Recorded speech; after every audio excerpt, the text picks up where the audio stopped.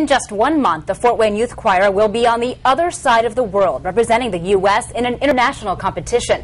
News Channel 15's Drew Blair continues her coverage of the Voices of Unity and has an update now. Well, Heather, as you know, I've followed the choir's efforts since early this year when it announced plans to travel to China. With less than four weeks to go, organizers say they are just thousands of dollars short of their fundraising goal for the World Choir Games.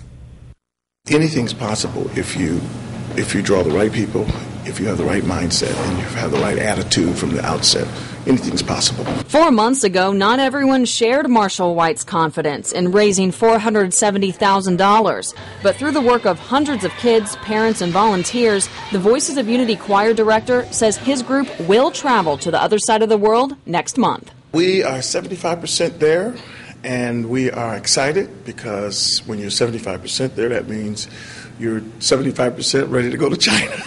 right now, the group's flights, hotel stays, and passports are covered. Still needed $113,000 for secondary expenses, like meals. Those of you who've been sitting back waiting, it's time now to, to kick in on this finale and let's make it happen. On July 18th, the choir plans to send 80 singers, musicians, and chaperones to China for what's considered the Olympics for singing groups. It's going to be fun. I like to meet other people they're different from us, so it'd be a nice experience. Choir members like Ariel Mitchell and her friend Jocelyn are doing a lot of the fundraising legwork. That first dollar was like a, a rush to me, like, yeah, I can do this, I can do this. So I got it, and I was excited. In the next 30 days, the choir will host events and stand on street corners asking for your help. And I would not even say make a difference, be a difference.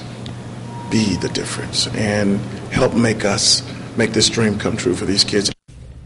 You can make a donation by heading to WANE.com. Just scroll to the bottom of the homepage and find the Voices of Unity graphic and link if you'd like. Drew Blair, News Channel 15.